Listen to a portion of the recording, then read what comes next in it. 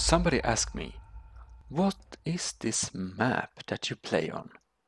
Well, it is one of the best car maps for ACF cars and maybe if you build advanced wire cars or to test out um, vehicle scripted cars.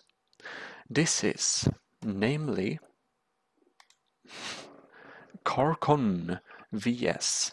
Let's see if I can find its full GM Carcon WS. Yeah, VS. So um, it is basically a car-centered map. This is basically a car vehicle total nerdery.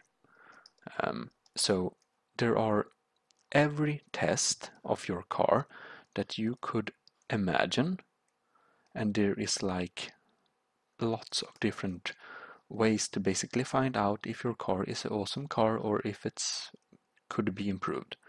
Um, here we have like mud race track, very good for testing tanks. My friend Nick usually does that, or I've seen him do it anyways. Uh, and here we have a, well, you can test your suspension and your road grip of a lot of different areas. Uh, maybe Carcon VS is most uh, known for its racing track.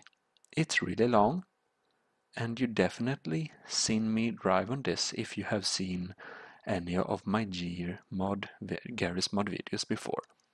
This is a long range where you just can test your top speed, very useful for that also. Here we are back there again, yes, uh, but here, here we have a really the ultimate engine and grip test for your tanks or vehicles. So to give you a little sneak peek of all the areas, you can see that Carcon VS features many areas, like this. We even have these awesome showrooms, which I have used for the Volvo at least. Uh, I should use them more because they look very cool. And here are one of my favorite racetracks. It's a uneven dirt road. It's not too fancy, but it's not overly complicated. It has some nice curves and it's just good. Then they have added something quite recently and an elevator to it because this map has been continuously updated over the years. Um, whoops, now I. Um, so we go up here and here we have another area which basically aerospace where you can test if your things fly. Well, explore it yourself. If you don't have this map, I should recommend you to have it in your folder for your use.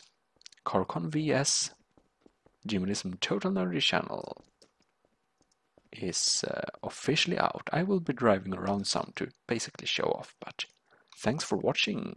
See you in next video. Oh, damn, they have updated some parts in ACF, I think. That makes this helicopter a bit difficult to control. oh well, that's life.